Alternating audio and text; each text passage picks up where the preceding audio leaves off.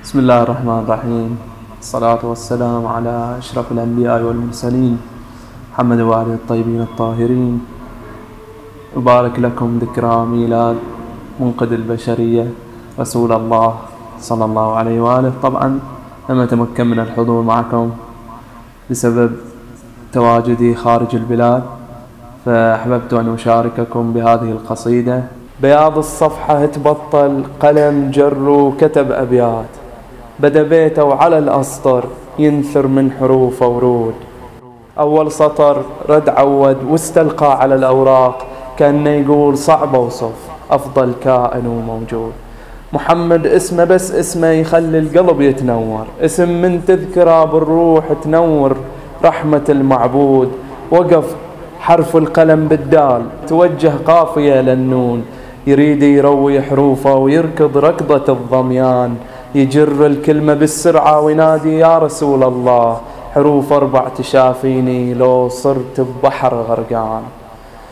على الميم اتكي عكاز أدري ما تخليني. تكسر ظهري ذنوبي بميمك أكسر العصيان. وحائك غصن يمسكني ما أهوي إلى النيران. حائك غصن يمسكني ما أهوي إلى النيران. وميم ودال مد حبال حبل العترة والقرآن. حائك غصن يمسكني ما أهوي إلى النيران وميم ودال مد حبال حبل العترة والقرآن. عقبها أريد ألتجي يا رسول الله ذنوبي ونفسي والدنيا تعاديني جيتك والقلب عطشان لجودك حنانك وعطفك لا تخيبني. حاشا يا رسول الله تخيبني. إذا مو أنت تحميني من بهالدنيا يحميني؟ أنا بحالي أبا ناديك. خذني ولو كنت في النار. أدري النبي بحالي شقد فوقي من الأوزار. وإذا مالك أخذني هناك بمد إيدي وبفق ايدي إذا مرة أصلي عليك. مئة مرة ولو مرة الصلاة عليك تطفي غضبة الجبار.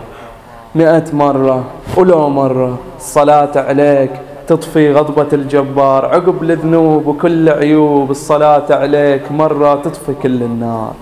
من صلى علي مرة لم يبق من ذنوبه ذرة. عقب هذه الأحاديث شنو أحكي؟ شنو أكتب؟ خلها تكتفي الأقلام. ما يواليكم وعاديكم في الدنيا أشد خسران.